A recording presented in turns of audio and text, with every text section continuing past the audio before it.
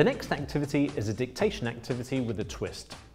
It's a great one to get the students concentrating and really helps them to focus on a particular language point.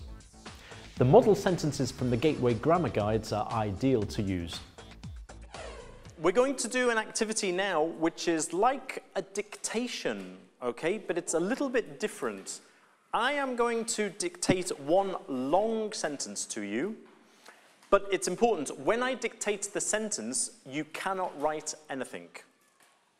When I finish, you have to try and remember what I said.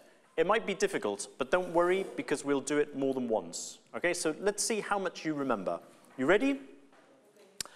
Although I've already been to the United States twice, I haven't visited Hollywood yet, despite the fact that I'm mad about films.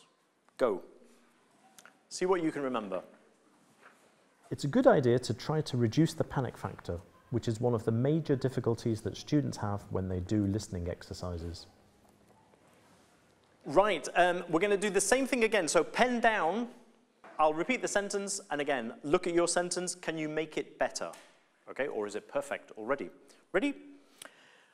Although I've already been um, to the um, United I States... I would like a volunteer. The volunteer is, has an easy job because the volunteer doesn't have to think much, they just write. Who wants to be the volunteer? Irene, do you want to come? And you, so you don't need your piece of paper because what is going to happen now is you, as a class, you are going to dictate to Irene and she will write whatever you say. If you think um, Irene has made a mistake or something, you can tell her. Okay. Um, who would like to help? Who would like to begin dictating to Irene? Daniel? Uh, also, I have been twice.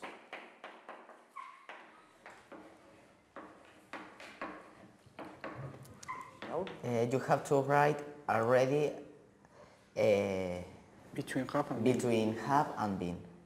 Here? Yes. The sentence I'm using here was chosen so that students would focus on yet and already with the present perfect and also the linker despite. And you'll notice how well the task makes them focus on this language. It stays, but I haven't visited. What do you think? This is a democratic decision. I think no. there's only a comma. But is for a contrast, isn't it?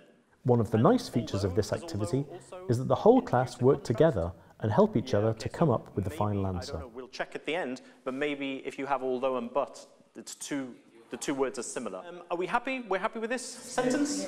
Okay, let's have a look. Thank you, Eleni. Right, um, despite now, this is to introduce a contrast. And in fact, the expression that I said is despite the fact. Actually, here, so I would suggest dictating the sentence one last time and let the class check the final answer that okay. way. So there is a contrast there. We followed this activity by examining the difference in use between already and yet with the present perfect.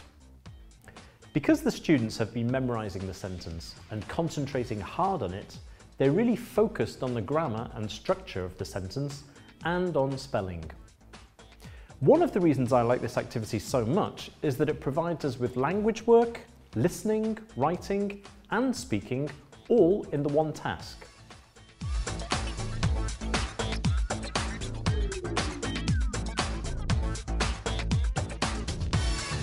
Don't forget to check out the Gateway Facebook page where there are weekly teaching tips to help you with your lessons and also access to Gateway worksheets.